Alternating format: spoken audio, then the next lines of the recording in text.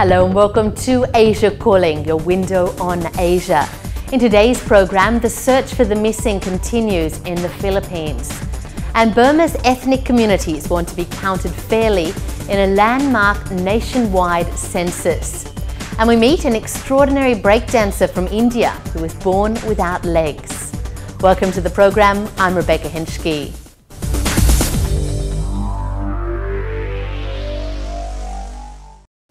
It's been four months since a typhoon devastated parts of the Philippines.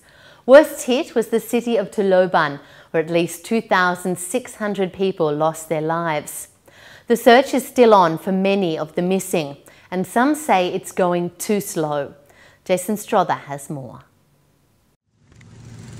The village, or barangay 83A, is located on the waterfront. The typhoon, known locally as Yolanda, caused a tidal surge that engulfed every home here on November 8th of last year.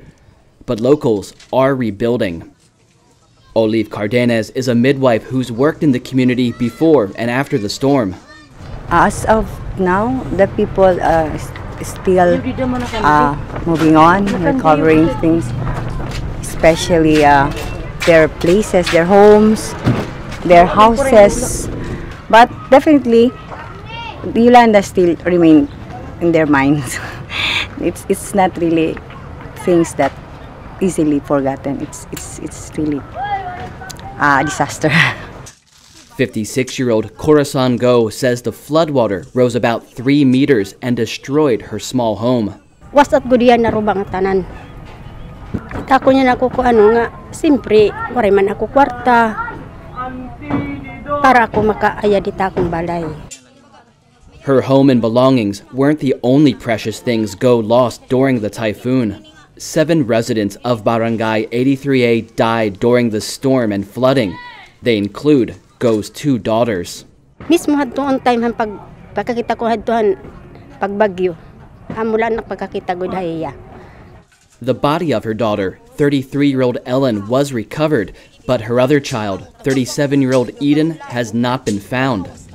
Four months after Typhoon Haiyan, the search for the remains of the missing continues. Specially trained search dogs have been flown into Tacloban from the United States to help with the recovery effort. They're especially useful in mangroves behind Barangay 83A and other difficult terrain. Dog handler Jim Hauk is with the group Global DIRT. So the dogs have been imprinted with uh, to know that they're looking for a specific scent, and in this case, the specific scent is human remains, and that's what we train with. And that's how they know. So what we do is they're trained to smell human remains, and then when they find it, they give us their indication, which is either a bark or they'll either sit or lay down. When remains are found, the team marks the spot with yellow tape. Later, another recovery team will come in and remove the body. You know, our hope is that we go out and we don't find anything. Unfortunately, we do. We, we do find remains. Finding the remains of the missing is one challenge for Tacloban. Another is identifying the thousands of corpses that were buried in mass graves after the typhoon. Doctors from around the country are now examining these bodies in hopes of bringing closure to those still searching for family. Dr. Roberto Santiago heads the team from the National Bureau of Investigation. Uh, what we did uh, this morning is we exhumed uh, about uh, 90 bodies. Right now we are placing the bodies on our uh, tent and uh, we have to check the, the clothes and find out if there's any identification card. And then we remove the, the clothes and then of course we open the body and get DNA sample. Some of the Bureau's doctors say the recovery and identification process is moving slowly due to a lack of manpower.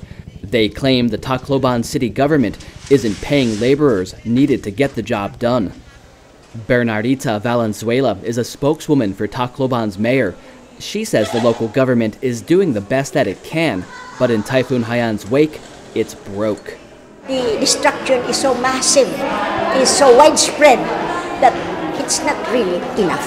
Although there are well-meaning uh, people who come, organizations from abroad and uh, national, it is not enough. Our resources are very limited. Back in Barangay 83A, locals continue to rebuild and try to get back to their normal lives. And as for Corazon Go, whose daughter's body has yet to be found, that also means letting go of the past.